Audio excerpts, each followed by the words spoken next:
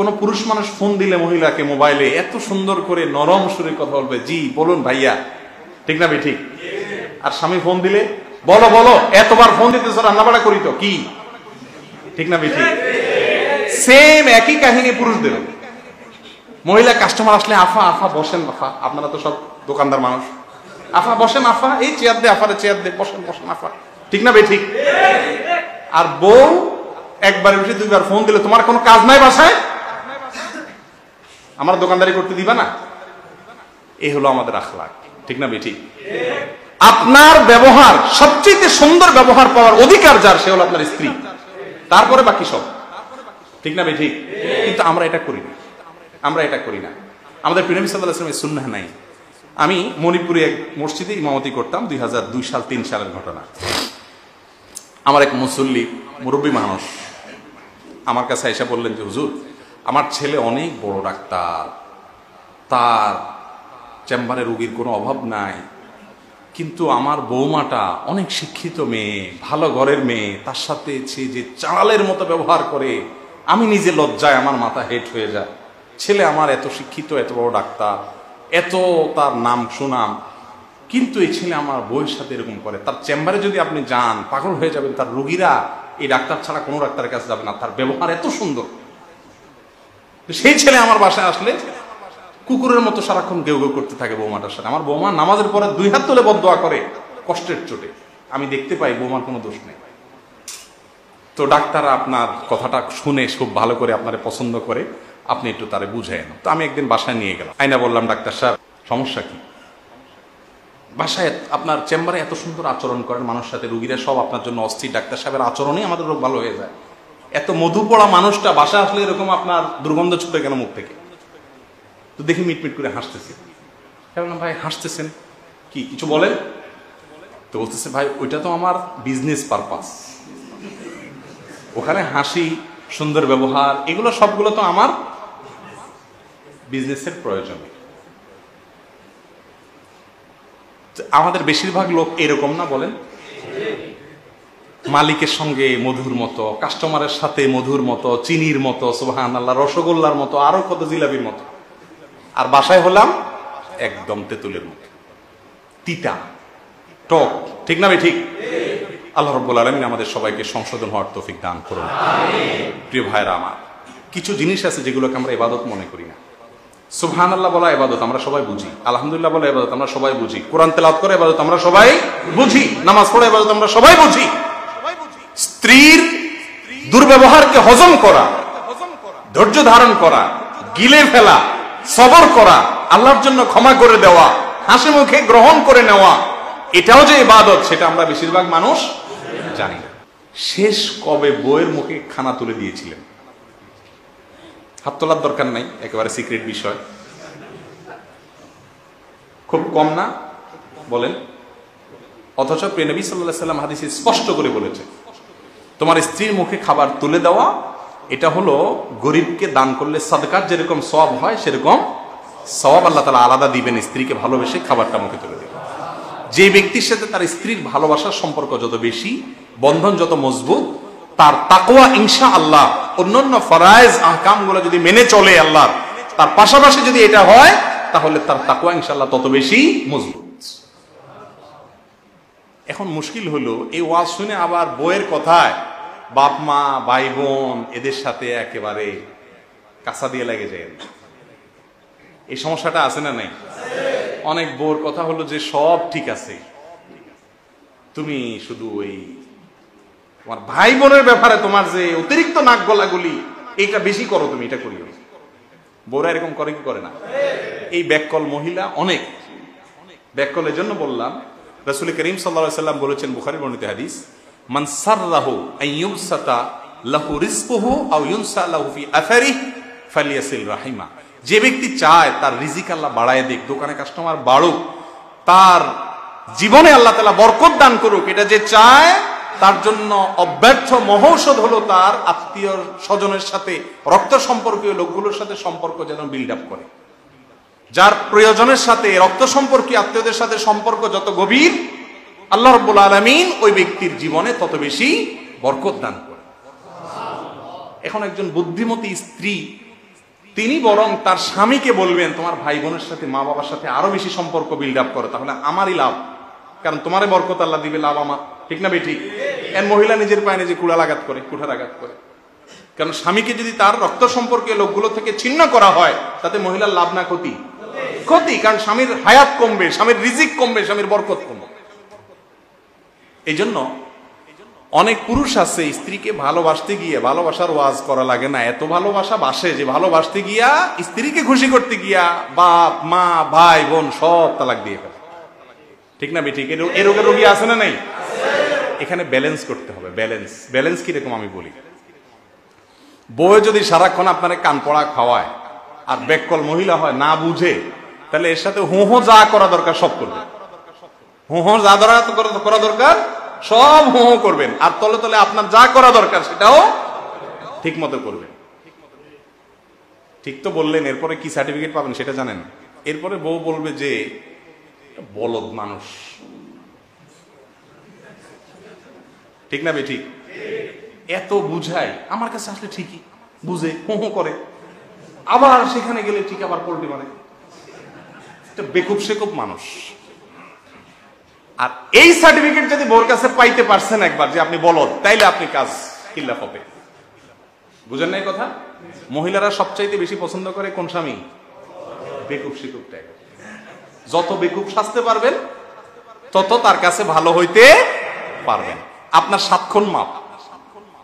মারে দেখবেন, বাপরে দেখবেন ভাই বোনকে দেখবেন আত্মীয় স্বজনের হক আদায় করবেন, সবকিছু করবেন। এদিকে বউ যখন ধাতানে দিবে বসার তর্ক করবেন নেই আমার বাপ মার আমি দেখব, তোমার কি এত লম্বা কথা? তোমার বাপের খাই দেই না দেই, আমার টাকা দেই, তোমার কি? এগুলো কইছেন তো শেষ। আর ভাত আপনার ওই সংসারে জুড়বেন আপনি কি করবেন? হ, ঠিকই কইছো। আমার আসলে হিসাব নিকাশ করা উচিত। মনে থাকে না আমার এগুলা? পুরা পাঠ নেবেন। এই পাঠ নেওয়ার পরে কি হবে? বয়ে বলবে যে তুমি একটা বোকা শোকা তোমার বললে ঠিকই বুঝো, আবার জাগা মতে কি করবা বলো, আমি আসলে এরকম নিজের নিজে বচ্ছনা দিবে। এটা হলো একটা বুদ্ধি। কত বুদ্ধি নিজের খায় শেখাবো? জায়গায় জায়গায় অ্যাপ্লাই করতে হবে। জায়গায় জায়গায় অ্যাপ্লাই করতে হবে। আর আসলে মন থেকেই স্ত্রীদের কাছে বোকা সাজার ভিতরে একটা আনন্দ আছে। সব জায়গায় বীরত্ব দেখানোর মধ্যে কি নাই? আনন্দ নাই। আমি আমার নিজের কথা একেবারে অনেস্টলি যদি আপনাদের বলি, আমি চেষ্টা করি আমার পরিবারের কাছে একেবারে বিড়াল সেজে থাকার জন্য। শুধু স্ত্রী না, সন্তানদের কাছে এমন একটা ভাব ধরি ছেলে মেয়েরা মনে করে আরে কি আব্বু যে কি একটা মানুষ না? ওরা খুব খুশি। মানে ওরা অনেক শেয়ানা, আব্বু একটু বেকু সবাই, প্রত্যেকটা লোক, বিশ্বাস করেন, সমস্ত স্ত্রীদের এটাই চাহিদা যে, আমার স্বামীটা কি থাকুক একটু? বোকাশোকা থাকুক। উঠামু, বসামু, কথায় কথায়। উঠবেন বলবেন লেফট, রাইট করবেন। যত শুনবেন তত। কিন্তু গল্লির ঠাও ঠিক রাখবেন। আপনার যে হক আল্লাহর পক্ষ থেকে বাপমার প্রতি ভাই বোনের প্রতি বইয়ের কথা সেটা বাদ দূর করা যাবে? খবরদার। ওই জায়গা ঠিক থাকতে হবে। অনেকে এই জিনিসগুলো না বোঝার কারণে সমস্যা তৈরি হয়। হয় বইয়ের দিকে বেশি ঝুঁকে পড়ে, বাপমার হক নষ্ট করে, অথবা বাপমা ভাই বোনের দিকে বেশি ঝুঁকে, স্ত্রীর হক নষ্ট করে। প্রত্যেকের হক এবং অধিকার জেনে, তার অধিকারকে আদায় করা, এবং সে যদি আমাকে ডিস্টার্ব করে, অনেক সময় বাপমাও ডিস্টার্ব করে, সেক্ষেত্রে বাপমাকেও অত্যন্ত কৌশলে ম্যানেজ করা শিখতে হয়। মুসলমান এত বোকা হওয়া উচিত না যে তাকে চরকি দিয়ে সারাক্ষণ ঘুরাবে। সে ব্যালেন্স করা শিখতে হবে। আল্লাহ তালা আমাদের সবাইকে তৌফিক দান। কোন অবস্থাতেই দাম্পত্য জীবনে স্ত্রীকে খুশি করতে গিয়ে মা বাপ ভাই বোন বা রক্ত সম্পর্কীয় যারা আছে, তাদের কোনো হক নষ্ট করা যাবে না। আমার এতক্ষণের ওয়াজ শুনে যদি আপনি আজ থেকে নিয়ত করেন, বইয়ের কথা এখন লেফট রাইট উঠবো, বসবো, দৌড় দিব, ঢুকবো, একেবারে গোলাম সাইজা যাব। সাজেন ভালো কথা, কিন্তু বউ যদি অন্যায় কিছু করতে বলে, তখন কোনো অবস্থাতেই করবেন না। শাসন যদি কখনো করতে হয়, সে শাসনের ভিতরে মধু মাখা থাকবে। ছেসরামি থাকবে না। রাসূল করিম সাল্লাম বলেছেন আর রিফকু মা কানা ফি শাইইন ইল্লা জানা ওয়া মা নুজিআ মিন শাইইন ইল্লা নম্রতা, কোমলতা, এটা এমন একটা জিনিস, যেই কোনো বস্তুর সাথে এই নম্রতা যুক্ত হলে সেটা সুন্দর হয়ে যায়। আর কোন সুন্দর জিনিস থেকে যদি নম্রতাটা না থাকে, তুলে দেওয়া হয় তাহলে এটা ত্রুটিযুক্ত হয়ে যায়। একজনকে দাওয়াত দিচ্ছেন, নামাজের জন্য বলতেছেন, কিন্তু আপনার আচরণ যদি কর্কশ হয়, তাহলে ওই ভালো কথাটাও খারাপ হয়ে যায়। আরেকজনকে শাসন করতেছেন, কিন্তু সেই শাসনের ভিতরে যদি নম্রতা থাকে, কোমলতা থাকে, তাহলে ওই কোমলতার কারণে শাসনটাও মনে হয় আদর। ঠিক না বেঠিক? স্ত্রীকে শাসন করবেন, আদরের সুরে। শাসন ছাড়া যাবে না। শাসন করবেন, আদরের সুরে। স্ত্রী যেন এই জিনিসটা বুঝতে পারে যে আমার স্বামী আমাকে ভালোবেসে শাসন করেছে। সে আমার শত্রু না। চাড়ালে মতো আচরণ করবেন না। মনে থাকবে তো ইনশাআল্লাহ। আমাদের প্রেমী সাল্লাহ সাল্লামের ব্যক্তিগত জীবনের কোনো অধ্যায় ভাই বাকি রাখেন নাই। যত বড় বড় পণ্ডিত দেখবেন, মনীষী দেখবেন, সবার পার্সোনাল লাইফ বলতে একটা গোপন অধ্যায় জীবনের থাকে না থাকে না। টিভিতে আইসা দেখবেন, লম্বা লম্বা সবক দেয় টকশোতে আইসা জাতিকে বুদ্ধি বিক্রি করে, বাসায় বউ পিডায় কাজের মেয়ে পিডায় প্রায় শোনেন না আপনারা এগুলা? প্রায় শোনেন না এই সমস্ত? তার মানে জীবনের কিছু অধ্যায় আছে যেগুলো মিডিয়ার ইয়েতে, ক্যামেরায় আসে না। সে অধ্যায়গুলো অনেক নোংরা। ঠিক না ঠিক? আল্লাহ রব্বুল আলামিন তার রাসূল সাল্লাল্লাহু আলাইহি সাল্লাম সম্পর্কে আমাদেরকে বলেছেন, লাকাদ কানা লাকুম ফি রাসূলিল্লাহি উসওয়াতুন হাসানা তোমাদের জন্য আল্লাহ রাসূলের মধ্যে উত্তম আদর্শ আছে। এমন এক নমুনা আল্লাহ পাঠাইছেন ওনাকে, এমন এক মডেল আল্লাহ ওনাকে পাঠাইছেন যে ওনার জীবনের কোনো ব্যক্তিগত বা গোপন অধ্যায় বলতে কোনো কিছু স্ত্রীর সাথে সহবাস করাকালীন সময়ে তার নীতি কি ছিল? সে বিষয়গুলো উম্মাহাতুল মুমিনিন, তার স্ত্রীগণ বিভিন্ন হাদিসের পরতে পরতে আমাদেরকে বাতলে গেছে আছে না নেই? টয়লেটের ভেতরে, মলত্যাগ করার পর কীভাবে পরিচ্ছন্ন হয়েছেন একেবারে প্রাইভেট বিষয় না, ব্যক্তিগত বিষয় না? এগুলা কেউ কারোর কাছে শেয়ার করার জিনিস? এই জিনিসটা পর্যন্ত প্রিয় নবী সাল্লাল্লাহু সাল্লামের তিনি হাদিসের মাধ্যমে আমাদেরকে পবিত্রতার অর্জনের পদ্ধতি শিক্ষা দিয়েছেন না দেন নাই? সাহাবী তিনি একবার যখন বললেন যে আমাদের প্রিয় নবী সাল্লাল্লাহু সাল্লাম আমাদেরকে সব কিছু শিক্ষা দেয়, এমন কি? টয়লেট সারার পর কীভাবে পরিচ্ছন্ন হবে সেই শিক্ষাটাও দেয়। তখন একজন অমুসলিম প্রশ্ন তুলল যে, এটা কোনো কথা হইল? তোমাদের রাসুল তোমাদেরকে এই ছোটখাটো জিনিস, একান্ত পার্সোনাল লাইফের এইটা এটা এটা শিখা দেওয়ার জিনিস হলো তখন সাহাবি ওই ব্যক্তিকে বললেন যে, দেখো, আমাদের প্রেনবী সাল্লা সাল্লাম বড় সব বিষয়তে শিক্ষা দেন, এই ছোট বিষয়গুলো বাদ দেন না। বাবা মার কাছে ছোট সন্তানের কোনো কিছু গোপন থাকে? ছোট সন্তানকে কীভাবে মল ত্যাগ করার পরে পরিষ্কার করতে হয়, মা শিখাই দেন না দেন না? বাবা মা এগুলো শিখান কি শিখান না? প্রিয় নবী সাল্লাহ সাল্লাম আপনার আমার প্রতি এত বেশি দয়ালু ছিলেন, এত বেশি মায়ালু ছিলেন, এত বেশি আন্তরিক ছিলেন, এত বেশি স্নেহ করতেন, এত বেশি মমতা করতেন, এত বেশি ভালোবাসতেন যে আমাদের জীবনের প্রতিটি পরতে পরতে মা বাবা যেরকম সন্তানকে হাত ধরে ধরে শিক্ষা দিতেন, তিনি সেরকম শিক্ষা দিয়েছেন। তার শিক্ষাকে যদি আপনার পারিবারিক জীবনে অ্যাপ্লাই করেন, আল্লাহর কসম আপনার পারিবারিক জীবন শান্তিময় হবে। তার শিক্ষাকে যদি আপনার ব্যবসায়িক জীবনে প্রয়োগ করেন ইনশা আল্লাহ আপনার ব্যবসায়িক জীবনে আল্লাহ রব্বুল আলমিন সুখ এবং শান্তি দান করবে। অনুসরণ করব তো ইনশাআল্লাহ। নবী সাল্লাহ সাল্লামের সুন্নাকে অনুসরণ করার জন্য পাগল পরা থাকব। খুঁটে খুঁটে বের করব। তিনি এই পরিস্থিতিতে কি করেছেন, আমিও সেটা করব। তার সুন্নাকে পালন করার ক্ষেত্রে যে যত বেশি অন্ধ হয়ে যেতে পারবে, আমি আর কিছু বুঝি না আমার নবীজি কি করেছেন। এটার জন্য যে যত বেশি অন্ধ হতে পারবে, সে আল্লাহ নবী সাল্লাহ সাল্লামের তত নৈকট্য অর্জন করতে পারবে ইনশাআল্লাহ। চেষ্টা করা যাবে কিনা ইনশাআল্লাহ? আল্লাহ তা আমাদের সবাইকে, আমাদের প্রিয় নবী সাল্লাহ সাল্লামের সুন্নতের আশেক হওয়ার তৌফিক দান করুন। তার সুন্নতকে খুঁটে খুঁটে খুঁজে খুঁজে আমল করার তৌফিক নসিব করুন। নিজের সন্তান এবং স্ত্রীদের ভালো করার জন্য তাদের জন্য দোয়াও করবেন, দোয়াও করতে হয় দোয়াও করতে হয়। রব্বানা হাবলানা মিন আজওয়াজিনা ওদুররিয়াতিনা কুররাতা আয়ুন ওয়াজআলনা লিল মুত্তাকিনা ইমামা। কি দোয়া? এ দোয়ার অর্থ জানেন? সুবহানাল্লাহ। আল্লাহ আমার পরিবারের সদস্যদেরকে, আমার সন্তানদেরকে, আমার চোখ শীতল চোখ শীতলকারী মানে কি? মানে এমন করে দেন যে এদেরকে দেখলে আমার নয়ন জুড়িয়ে যায়। তাদেরকে দেখলে আমার নয়ন জুড়ে যায়। নয়ন জুড়ানোটা কখন হয়? নয়ন জুড়ানোটা কখন হয় বলেন আপনার সন্তানটা অনেক সুন্দর, সুঠাম, দেহের অধিকারী মাসাল্লাহ দেখতে শুনতে খুব সুন্দর। কিন্তু তার মাথায় সমস্যা আছে। আপনার চোখ শীতল হবে এই সন্তান দেখলে? মাথাও ঠিক আছে, বডিও ঠিক আছে। পড়ালেখায় ভালো না। সব ফেল মারে। আপনার এই সন্তানকে দেখলে নয়ন জুড়াবে?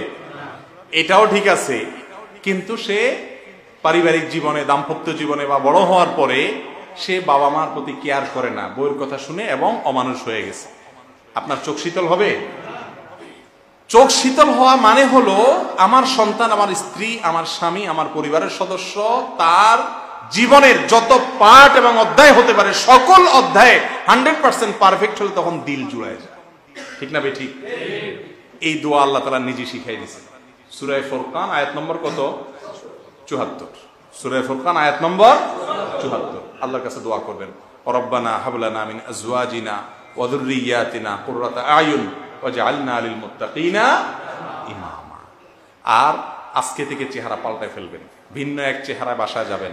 সালাম দিয়ে ঢুকবেন। মোবাইল টোবাইল টিপাটিপি করবেন না। ভদ্রলোকের মতো থাকবেন। প্রথম প্রথম বউ একটু খোঁচাখুচি করবে, বলবে, কি ব্যাপার? দরবেশ দরবেশ, ভাব। হ্যাঁ? কাহিনী কি? প্রথম প্রথম একটু খোঁচাবে বই কারণ সারা জীবন যা বাদরামি করছেন, সেগুলোর জন্য কিছু খোঁচা তো খেতেই হবে, কিন্তু সিরিয়াস হয়ে যাবেন। আমি প্রিয় নবী সাল্লাহ সাল্লামের মতো হতে চাই। তিনি তার পরিবারের কাছে সবচাইতে ভালো ছিলেন। তার সব স্ত্রীকে একরকম ছিল? কিন্তু সবার কাছে তিনি ভালো থাকার চেষ্টা করেছেন। চেষ্টা করা যাবে কিনা ইনশাআল্লাহ? আল্লাহ আল্লাহ তালা আমাকে, আপনাকে, আমাদের সবাইকে তৌফিক দান করুন। প্রিয় নবী সাল্লাহ সাল্লামের সিরত, যার জীবন আদর্শ এটা একটা একটা অধ্যায় করে জানতে হবে, একটা একটা অধ্যায় করে শিখতে হবে, বুঝতে হবে, তারপরে সেটা জানার চেষ্টা করতে হবে। সমস্ত বড় বড় মনীষীদের জীবন আদর্শের, বললাম তো যে গোপন গোপন অধ্যায়গুলো, অনেক সময় দেখা যায় যে তারা মানুষকে জানতে দেয় নাই, কিন্তু আপনার আমার প্রিয় নবী সাল্লাহ সাল্লাম তার জীবনের সমস্ত অধ্যায়গুলো একটা একটা করে আমাদেরকে জানাই দিয়েছেন কি দেন নেই?